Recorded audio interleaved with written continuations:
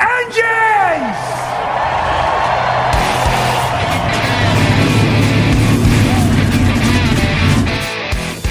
Hit the pace car! What for? Because you hit every other damn thing out there. I want you to be perfect. When I'm driving, I got a guy on the radio who talks to me. It's him. He talks to me.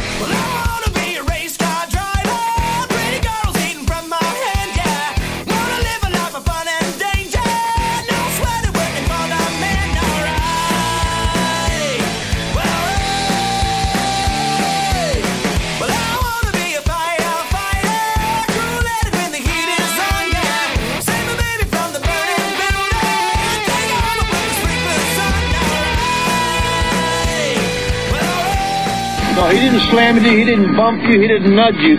He rubbed you. And rubbing, son, is racing. Hey, race fans, welcome to the Hoobazoo Radio Network and welcome to the Drafting the Circuits radio program. My name is Frank Santoroski. I'll be your host for the next hour as we go over this past weekend in racing and preview the coming week. Joining me in the studio are Mr. Gray Warren, Mr. Richard Youden, and Mr. Seth Eggert. Fellas, how we doing tonight?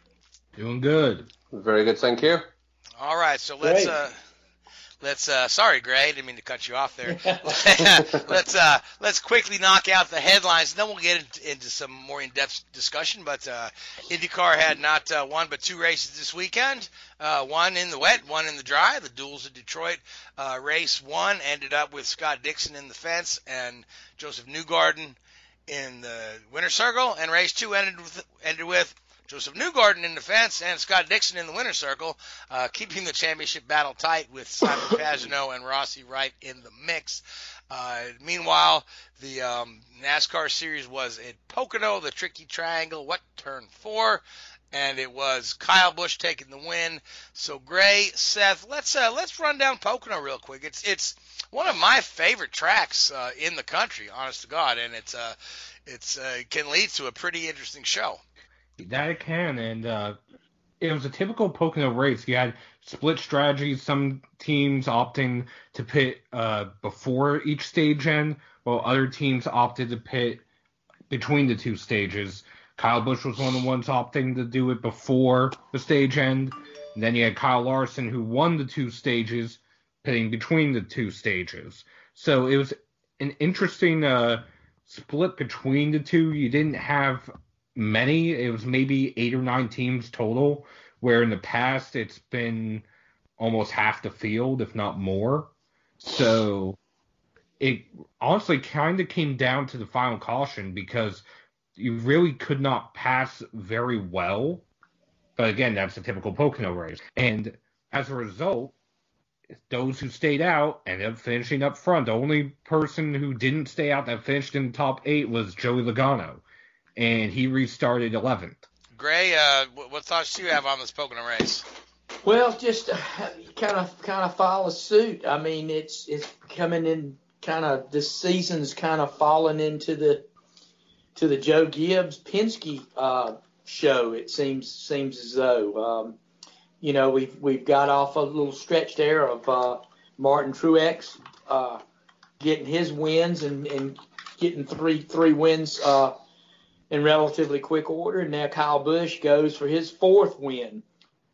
You've already sitting with Denny Hamlin with, with two wins uh, this year already, and the rest of them pretty much, uh, you know, you, you got uh, Penske uh, with the rest, it seems. And uh, I think I think Ke- Keselowski's got three as well. yeah, Keselowski's Yep. got three, and, and and you know, it just seems to be that uh, those two teams right there have just have just uh, risen above the rest of the uh, rest of the competition. And yeah. So uh, you know, so what's what's going on with Stewart-Haas? It's it's odd that we're this deep into the season and we haven't seen a couple of Kevin Harvick wins and we haven't well, seen uh, Almirola you know- or uh, Bowyer and, and all those guys had uh, wins by this point in the season last year. And they have run well. Don't you know? They've run well. Harvick had uh, Harvick had pretty much a sure win at Kansas, uh, and he was denied that. And he's run well. Uh, he's he's had he's had run well. I think just that you know they've had a few little uh, miscues that have cost them uh,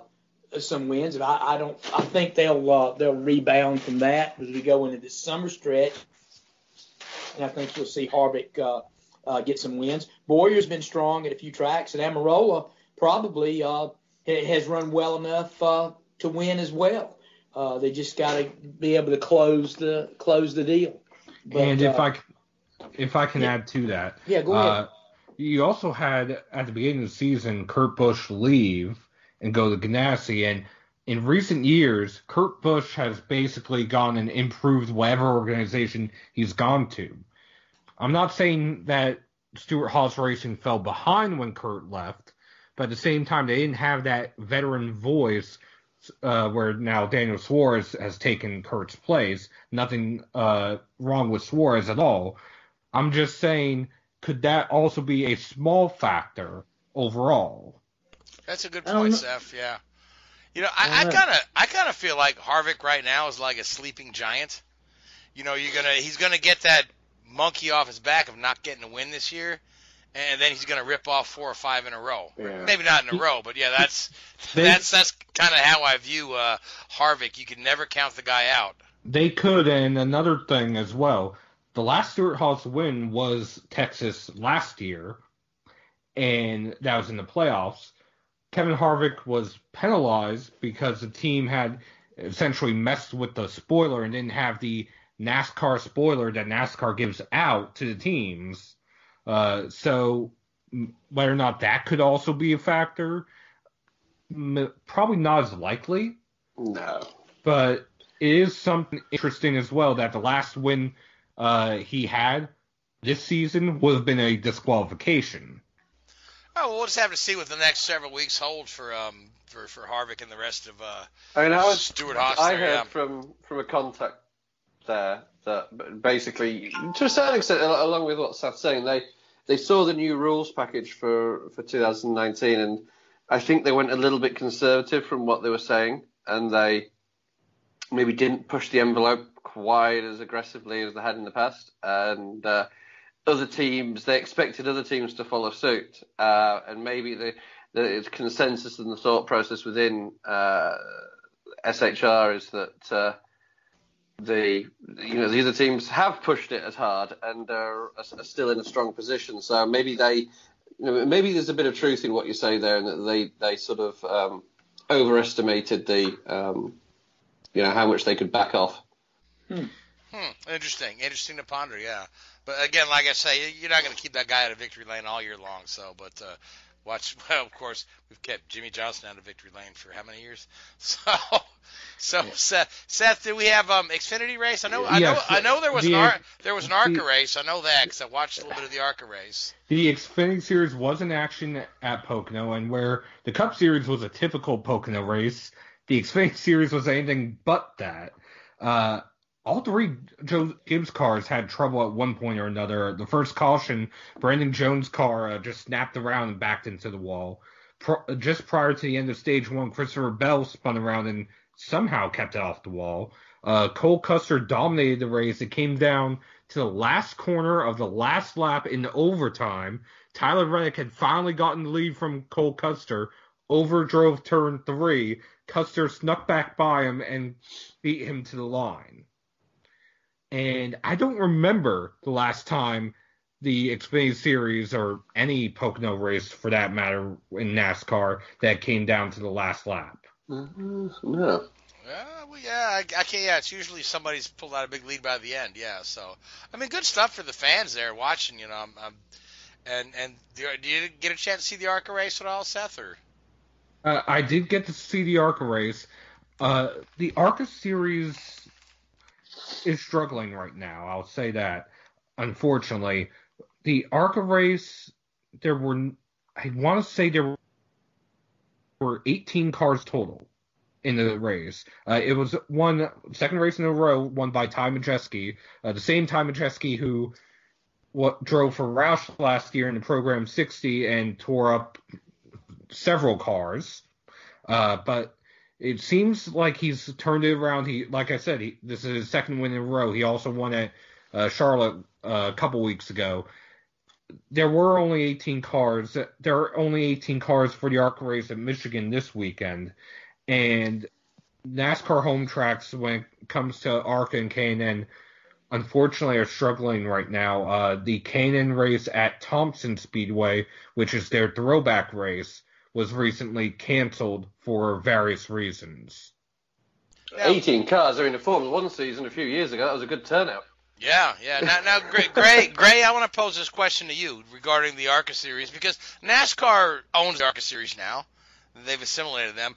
Do, do you feel like there may be because you've got, like you said, the K and N series is canceling races, the ARCA series is struggling um, to to fill the fields. Um, Xfinity is failing to fill the stands. Do, do you see that somehow we're going to merge some of these junior series? Because we, we have a, a with ARCA coming on board with NASCAR, there are an awful lot of, of junior series of very similar cars. Uh, could we see Yeah.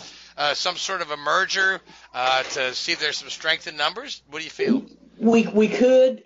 we Uh, could there is see- one planned. Yeah. Go go go that go with your plan there. Tell, tell, tell us about the plan there, and then I'll then I'll elaborate on what what my thinking Uh, on it.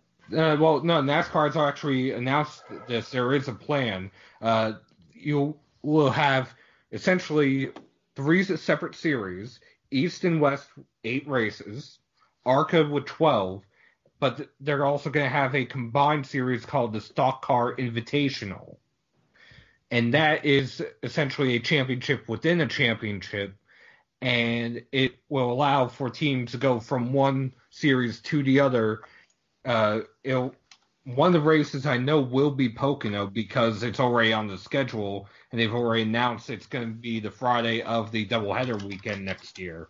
Okay, so really quick. So, so just to clarify, the the invitational will encompass the the 16 races, the eight East and the eight West, and the ARCA races. So that, or, or is this is or is this invitational more races? they haven't announced all the details as of yet. Okay, uh, My understanding it will be four from East, four from West, and somewhere around uh, ten from ARCA. okay. So they're all the basically the same races, but there's going to be some races that are both like a double double Yes. dip, double dip. You get you get points for two different championships if you're Yes. running. Okay, all right. That that's actually not a bad plan. Now, Gray, you want to jump in? Yeah, and uh, one of the things that concerns me about, uh, particularly about ARCA, is, and I go I, I go back to the old ASA short track series that guys like Trickle came from, Rusty Wallace, Mark Martin, a lot of the Alan Kulwicki, a lot of those guys. That was an immensely popular series in the Midwest. Uh, strong, uh, great crowds, uh, and sent a, and a great feed. Uh, well, I don't, want to call it a feeder theater series, but a lot of the guys that ended uh, in, in that series ended up in Cup. Just, just terrific races. Um, the downfall of that series was going to spec cars, spec engines. And once they did that, that series kind of fell off the map. Matt, another guy, Matt Kenseth, came from that came from that series as well. So you, you all these names that I've just mentioned, look look what they did in Cup. I mean, it's a, a veritable who's who that came from ASA.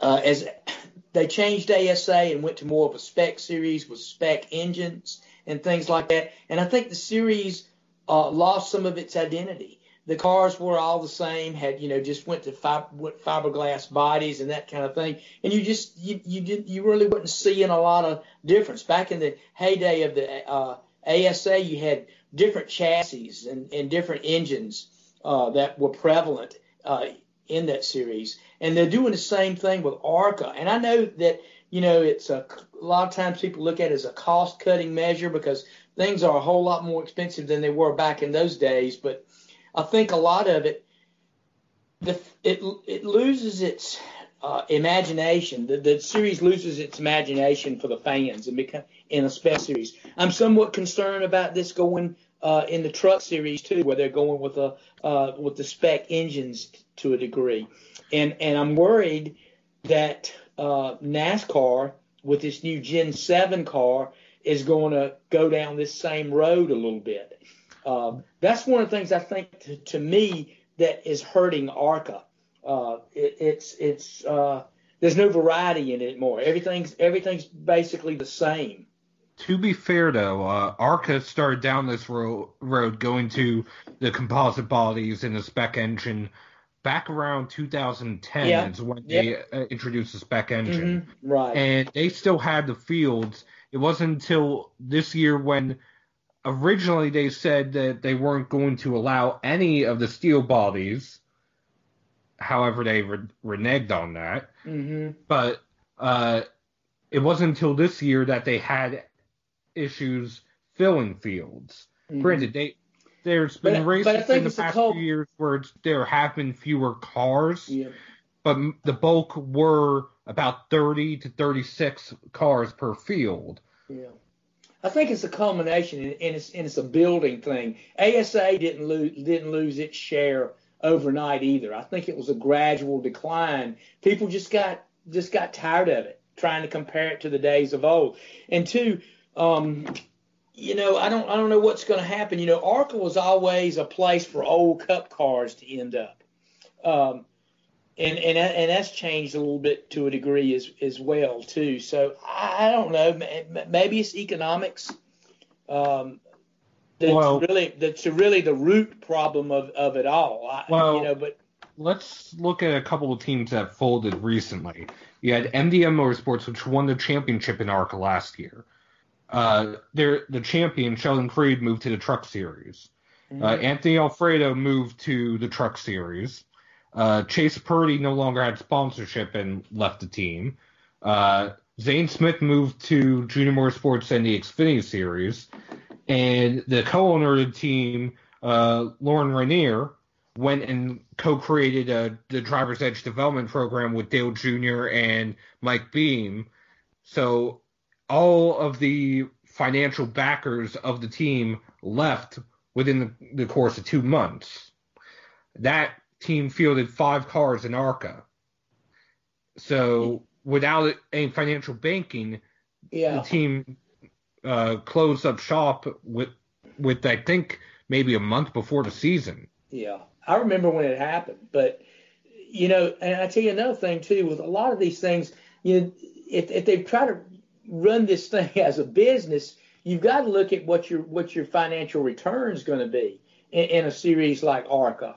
You know, e- even the Truck Series and, and the X, and the Xfinity Series, you're you're you're somewhat limited on what your you you're very vastly limited in what your return is going to be uh, if you're trying to run a business. You essentially, if you don't have the sponsorship, you, you're not going to be around long because basically it's just going to be a break a, a, a break even thing. It's that for for the owners.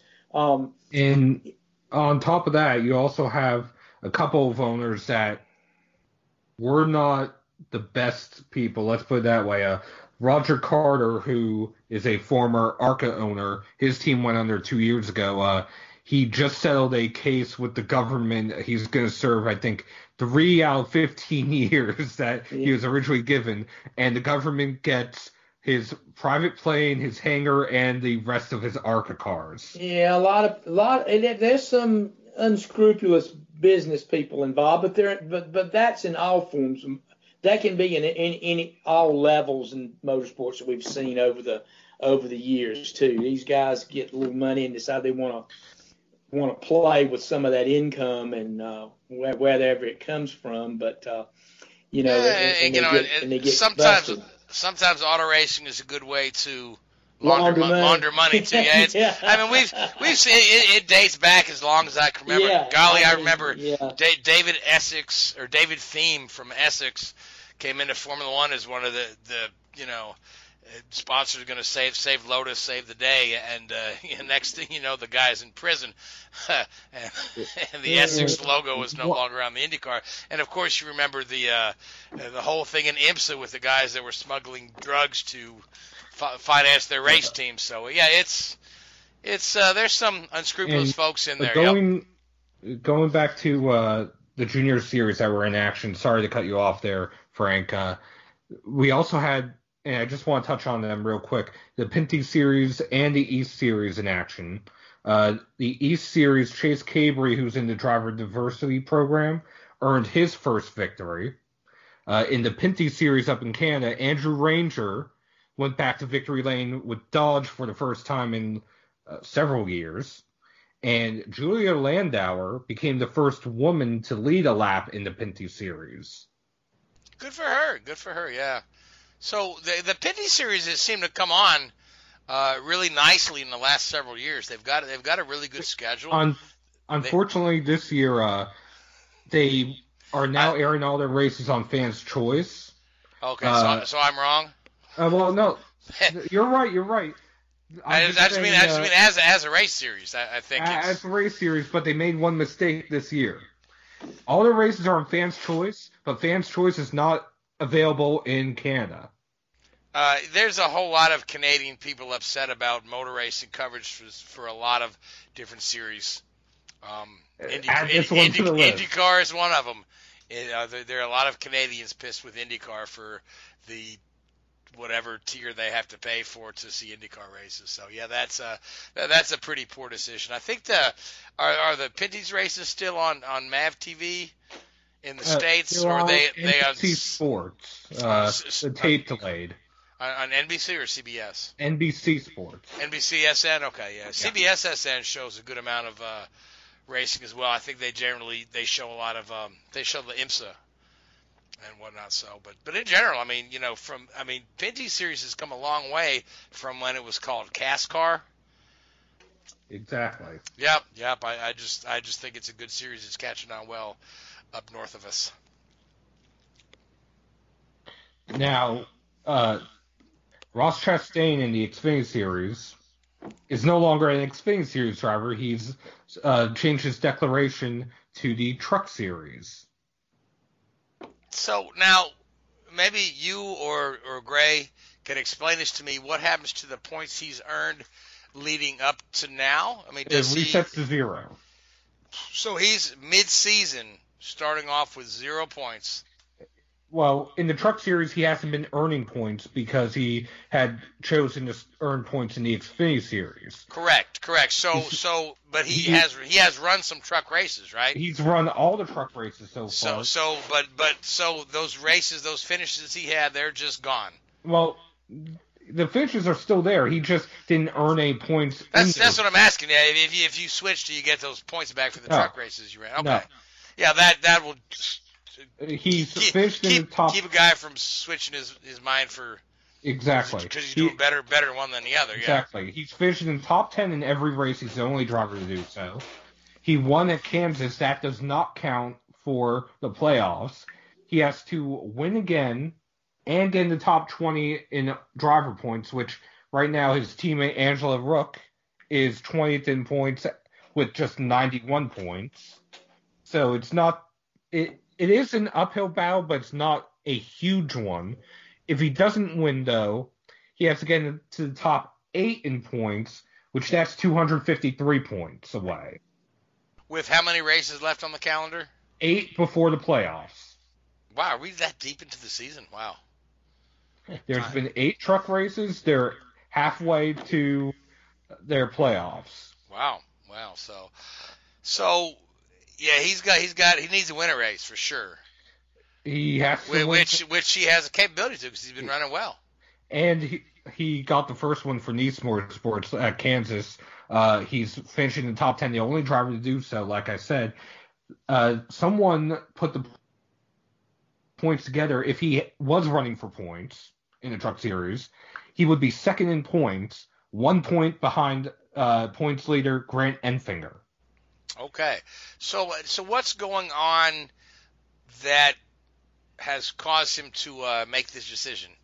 Is is is Infinity is he not performing well in, in Well, he was 13th or- in points.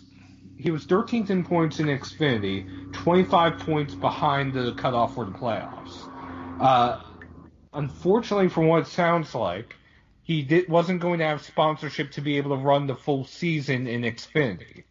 So he's going to uh, commit to the races he, that he already has sponsorship in place, and any that his teams, Johnny Davis Motorsports or Kaulig Racing, uh, come up with. However, from my understanding, it's more uh, unfortunately a combination of performance and lack of sponsorship. Uh, Johnny Davis Motorsports last year, one of the reasons of why they ran so well, they were aligned with Chip Ganassi Racing's Xfinity Series team, the same one that closed because of the DC Solar fiasco. Before we transition to uh, making picks and whatnot, I do want to mention there's this um, there's this stories going around on Twitter now. We've got Eddie Gossage is involved. Uh, J. Douglas Boles, the president of Indianapolis Motor Speedway, is involved.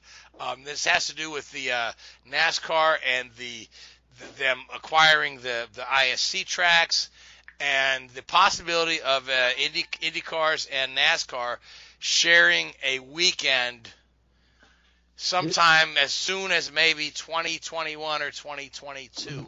Uh, do, do you think this this do you think this story has legs, or I- are we I are we just it idle does. talk? I believe it does because this first popped up last year, uh, in which there was talk in uh, in the garage that NASCAR was entertaining the idea of trying to do a doubleheader with IndyCar at Chicagoland Speedway, which is an IC track. Uh, of course, Eddie Gossage at Texas Motor Speedway, that's an SMI track, and you'd rather have it there.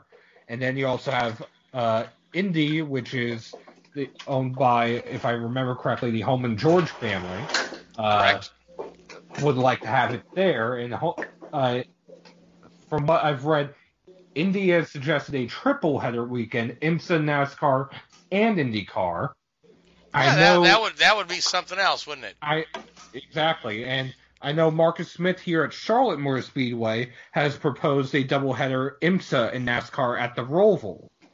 So there's been a lot of talk between different members of the motorsports world in North America about trying to do a double or even a triple header and what kind of double or triple header. And some of this, believe it or not, it's not coming directly from uh, the sanctioning bodies, but it's being proposed by uh, NBC Sports. Right, and some of the track owners as well. Eddie Gossage was the first one to jump in there and say, "Oh, you need to have that at my place," and then and Jay Doug said, "Oh, we could have it at my place." To be fair, uh, Marcus Smith was the first to say it last year. Okay, yeah, but but either way, I, I think that it's kind of neat. And uh, Gray, you've been around a while, and Richard, you've watched sports, you know, racing for a long time. That instead of this us against them mentality, we can see how we can work together. Since everybody's struggling a bit with attendance and, and viewership and whatnot, it's and that's you know that, that's not a secret. We don't need to be us against them. But uh, Gray, realistic, realistically, do you see this actually happening? Well, yeah, I, I, think down the road there you're going to have to see something because basically it's, it's it boils back down to economics, like we've been talking about some of these other series hurting. You're going to have to give to get the to boost the attendance and and and give these series a shot in the arm. You're going to have to get fans in the through the turnstiles, and to do that, you're going to have to give them more bang for their buck.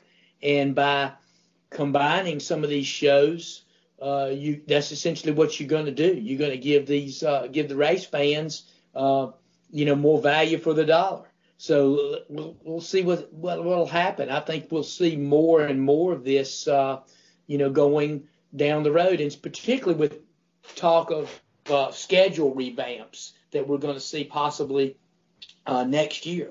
People are looking at some you know I think this is going to be a trend we're going to see develop. Uh, you know, they're talking, uh, like I said, it's just talk where some racetracks could lose a show. Well, you know, the, these are big behemoth facilities that have to have events to generate revenue to keep to to to, to stay open. And if you're talking about uh, you know taking events, you've got to have to make up that revenue somewhere else. So uh, yeah, I'm sure we're going to see a lot of new and, and innovative ideas come forth and, and maybe and some of them will probably come to fruition. Yeah, I think it's very exciting. I mean, there there are a couple of, of places I can think of that would do a really nice job of doing that, and Watkins Glen comes to mind.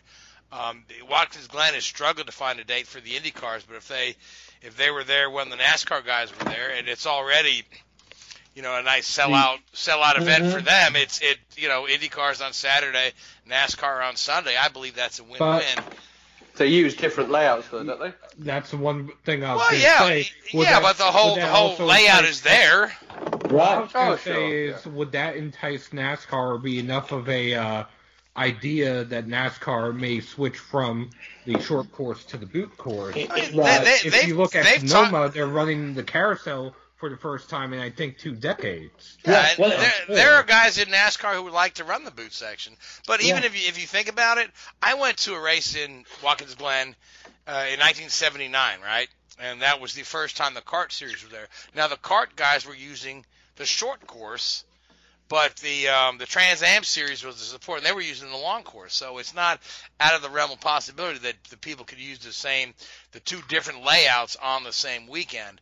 But I, I do wonder that if you wanted to just, you know, to just to to save face with lap times, if NASCAR used the shorter layout, they'd have a shorter lap. But I, I- think it's no secret that Indy cars are going to have a little more speed than the tin tops. So, but I think that would be a neat place to do. Although that's not been in the discussion.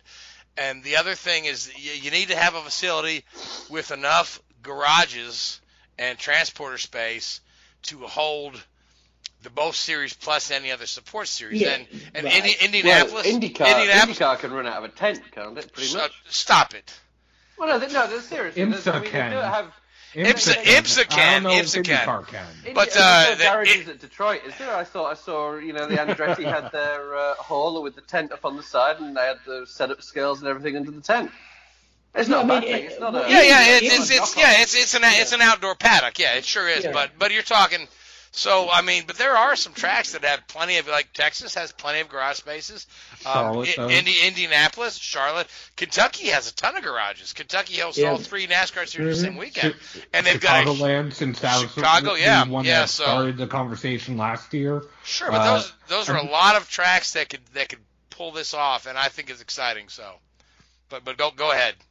Uh, another one that I've also heard talked about was uh, Daytona, and the idea behind that was obviously it would be the road course layout because IndyCar won't touch the oval layout, and I completely understand the reasoning for that.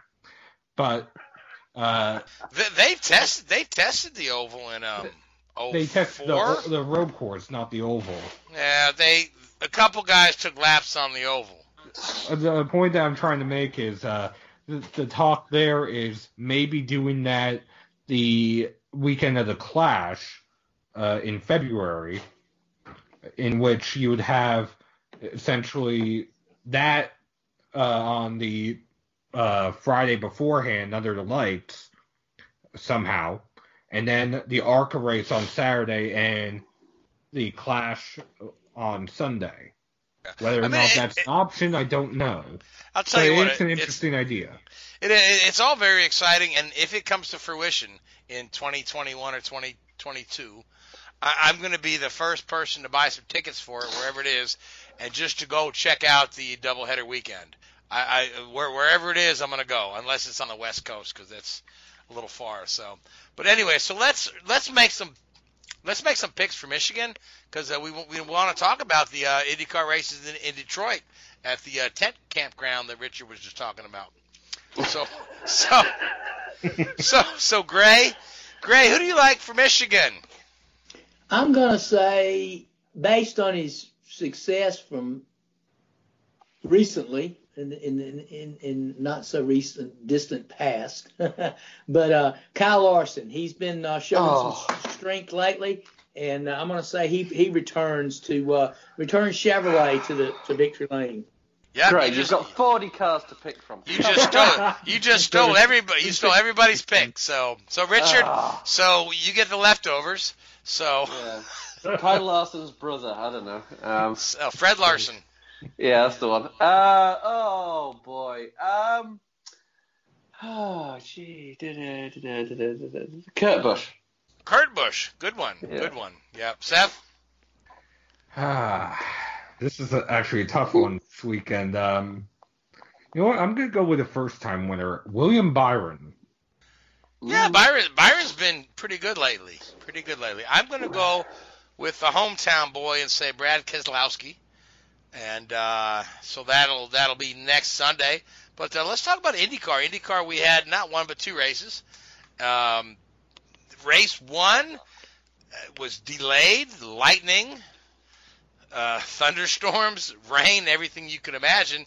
They finally got the race underway, decided to do a timed race, a 75 minute timed race, which uh, really shortened it down from the uh, the usual two hour timed race. Um, when they only had 20 minutes left in the television window to keep it on NBC because they moved it to CNBC. So I don't know why they just didn't go ahead with the whole two hours.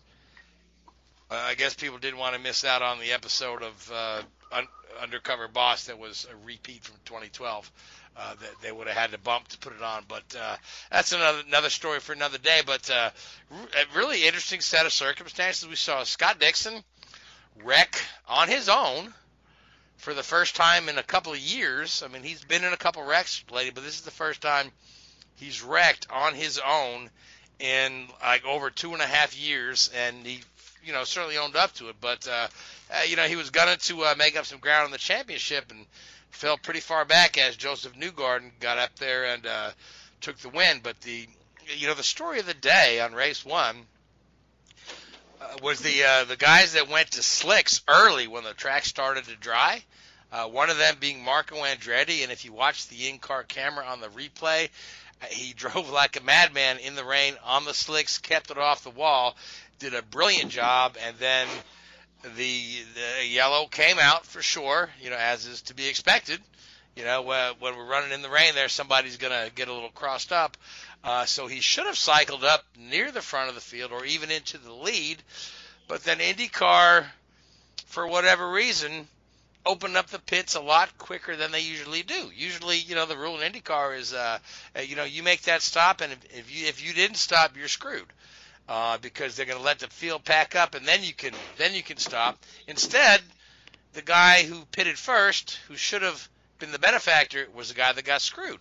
Now, IndyCar's explanation was, and I have it right here. I'm going to read it word for word. Um, IndyCar's explanation for coming out with the yellow rather quickly was race control was reviewing data and closing rates based off the information the packet was developing. The goal was to get the pits open as quickly as possible for the competitors and fans, but given the circumstances that included cars on different tires and a cold track, it, dot, it did not occur as exponentially as was envisioned.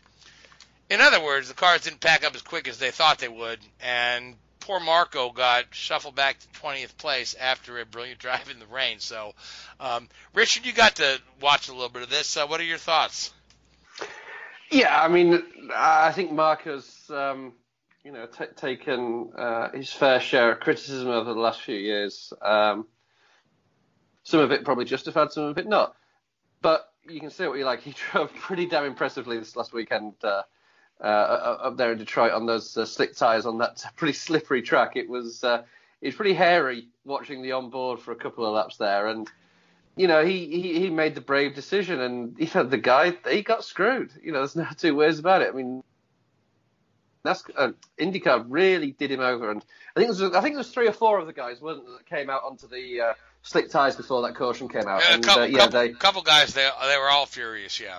yeah, and uh, you know, it, it's so frustrating because we, we talk about this time and time again. How you know you, you uh, and I know it's not the case every time, but you look at the majority of Indy of sorry Formula One races, and when things like this happen, they tend to be pretty consistent, ninety to ninety percent of the time. They're pretty consistent with how the rules are implemented and how they're implied, uh, how they're applied, and you know teams know what's going on under certain circumstances. Whereas you struggle to say the same with IndyCar. I mean, the rule book seems to be changing week by week on what happens under certain set of circumstances, and it's just a little bit like, well, okay, we'll do this. Yeah, let's try that. Uh, you know, it, there's not that consistency, which Yeah, the teams it's- and the this, strategy this, guys. this is blocking, Oh. but this is not blocking. You know what I mean? Exactly. Yeah, exactly, yeah. It's it's it's so much open to interpretation, and it's it you know it shouldn't be, and it's just it's so frustrating for the fan because they don't know what's going on.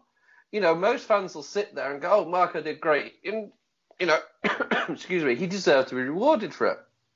and he didn't get rewarded. He got screwed.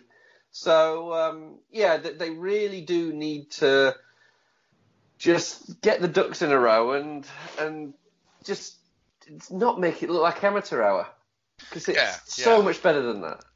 You know, I mean, NASCAR do it half the time to manipulate the races, whereas IndyCar tries to tries to pitch themselves a little bit higher than that. And uh, and Yeah, they still they- end up yeah so i mean because it's uh, uh, you know it's pretty standard in this day and age and, and, and the indycar drivers get frustrated that they wait to close the pits you know because if you Yeah. did if you didn't pit you know those guys that pitted are are going to be ahead of you you know the, Yep. you have the whole field behind you so this has been we've seen how many people lead a lead a race stretch it for a few extra laps than their competitors and then the yellow comes out and then they get mired in the back of the field right yeah, uh, and in this case, they said, well, let's just go ahead and uh, the cars are sort of packed up. I guess open the pits.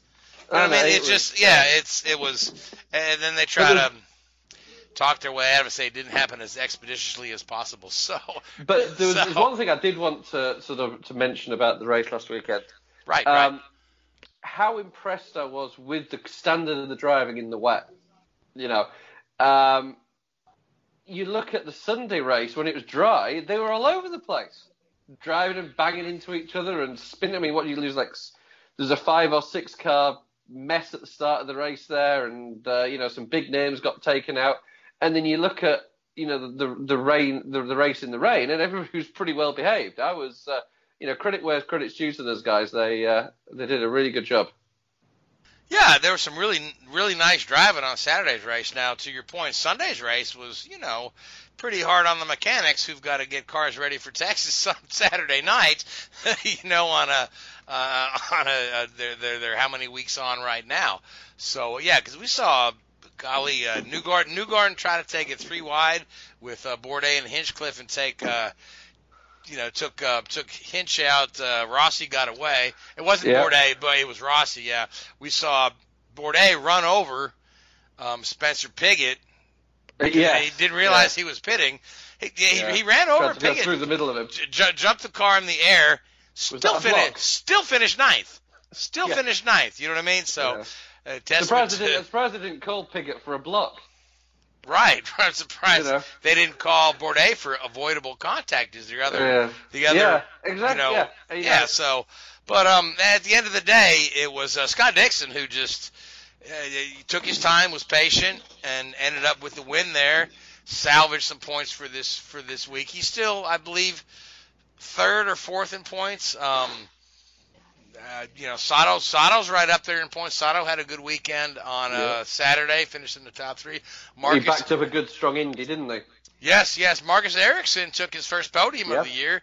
Finished uh, finished second, second in, in race two, and that and, and that's a team that can use some good mojo for sure. You know, Yeah. after after Hinch, uh, you know, having to do the the uh, last row shootout at Indy, and Ericsson is learning curve been a little steeper than he thought, and they just have some struggles here and there.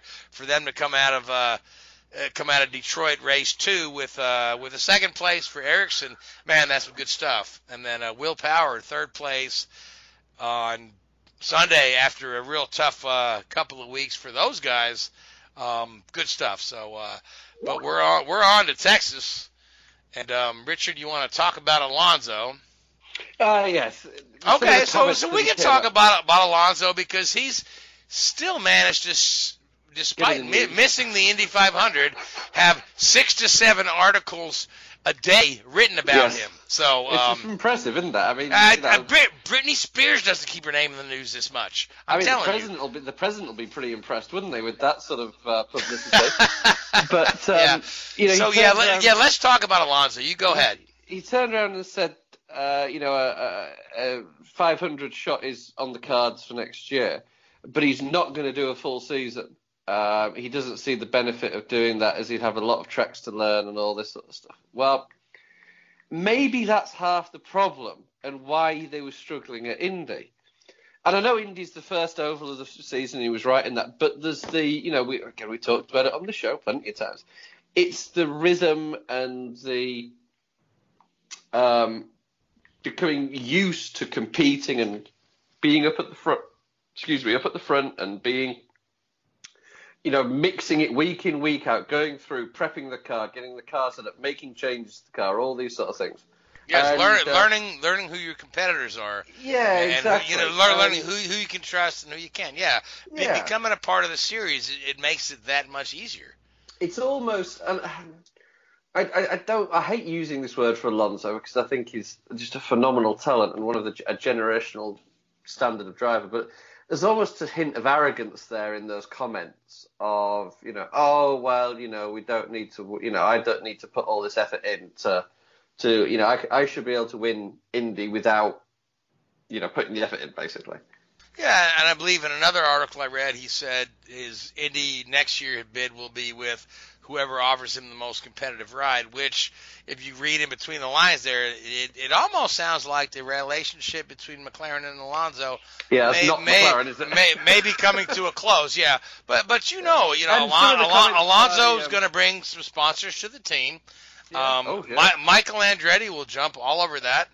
Uh, so so will so would uh, Ed Ed Carpenter or or maybe Yeah. even maybe even a Roger, Roger Penske. Penske would, yeah. Roger Penske, And, I don't know, know. You yeah. look at some of the comments by uh, Zak Brown. You know, he said, "Oh, you know, McLaren will be racing long after Fernando retires, and it was here long before he started race. You know, long before he was born. So there maybe is a little bit of trouble in paradise with that relationship there, possibly. I, I, I don't know, but um, Yeah, and M- Yeah. McLaren McLaren also ruled out a full season in 2020, but didn't rule out the Indy 500. So they may be giving it another shot. So we'll just have to see how all that goes. So But I mean, it's like you know, you've done it. You know, they can't do it themselves or do it with a. You know, I mean, I mean and this is no disrespect to Carlin. You know, they, they're going to do it. They need to do it with somebody that is probably a little bit more um, familiar and used to competing at uh, you know the front end of India, like Andretti were. I mean, you know, sure, Alonso should have won yeah. that race. Uh, uh, he could have won that race, yeah, except it was Sato's day. So Oh, now, yeah. now, Seth, you wanted to talk about another guy whose future is in the news a lot, that being Alexander Rossi. Yeah, exactly. Uh, at during the broadcast of the second race, uh, Marty Snider uh, was talking about Alexander Rossi and also about Felix Rosenqvist. And one of the conversations that came up, he's uh, that he had had with Chip Ganassi was, why don't you just write a check to get Alex to join your team? And Chip said, I just might this year that kind of alludes to Chip being interested in trying to uh, woo Alexander Rossi away from Andretti and over to his team, whether that would mean replacing Rosenqvist or expanding back to three cars. I don't know. So yeah, Rossi is an interesting guy. He's very much in demand. Um, I think. Okay, I don't say I think. I know he's quite happy at Andretti, and I know he's got a great relationship with um, with his race engineer, Jeremy Milless. Um, they keep saying Roger is interested in getting Rossi there, but at the same time, you know, Roger doesn't want to take one of his guys off the table right there. Um, and and Roger's It used to be a- a four-car team, though, didn't they? Yes, but Rogers not a fan of the four car team. They expanded to the fourth car to accommodate uh, Pagenaud to get Pagenaud on the team, and then they they had some struggles that first year. So uh, it wasn't long before they scaled back down to three. Um, yeah, Rogers not a fan of the four car model. Michael is a fan of the four car model. Ganassi ran a four car team for a while, and you know only two of those teams won races, and that's when uh, the other the guy in the ten car was Dario. Since Dario was retired, we haven't seen a solid guy in that ten car yet. Um, you know, Ed Jones struggled. Um, Kanaan won one race in the course of three years, and Rosenqvist has not been able to, you know, keep it off the wall. Not not to say that Felix won't uh, come around because the guy's got a ton of talent. So um, I think this is uh, this is a developing story to see where Rossi's going to end up. But I my gut feeling tells me at the end of the day that next year and possibly for the next three years after he signs a contract, he's going to be in the number 27 Napa sponsored Honda Andretti car. But you never know. We are off to Texas for Saturday night race. And Max Chilton from the from the um, Carlin team has announced uh, midweek that he will not be contesting Texas or any of the other ovals. Now, his Gallagher sponsorship, which is the, the company that his father was a CEO of before he retired, uh, that is his sponsor. The sponsor is staying on with the car. They are employing Connor Daly uh, for Texas, and we'll see who they put in the car at uh, Gateway and, and Iowa and Pocono. It could be Connor Daly for all those three. That's not uh, known yet. Um, the choice of Connor Daly very popular. You know, young American driver, very popular. Folks love Connor Daly, but uh, uh, Max Chilton just bowing out on ovals. Um, Gray, you've been a little quiet. Uh, what, what are your thoughts on this? And then Richard, you can be next. Yeah, I- think too. You're looking at guys coming in. It's so few good rides in IndyCar, and they they're bringing in guys that can can fill the bill as a specialist to some degree. You know, you know, be it ovals or um, or uh, road courses. I think you know uh, probably Ed Carpenter Racing kind of set the standard for that. Uh, you know, years ago with Ed concentrating solely on ovals and bringing in uh, road course guys to uh, to to uh, pilot his cars uh, on those venues. You know, we, uh, I think it's in some in some areas it's, it's, it's good for the team. You, you know, it's it's uh, utilizing a strength that you don't have in certain areas. You know what I mean? I know what you mean, yeah. So, uh, but so you you feel like maybe Chilton? We talked about this on the pre-show that maybe Chilton is is not the guy they need on their oval program because we saw that the three cars bumped in Indianapolis were all Carlin cars.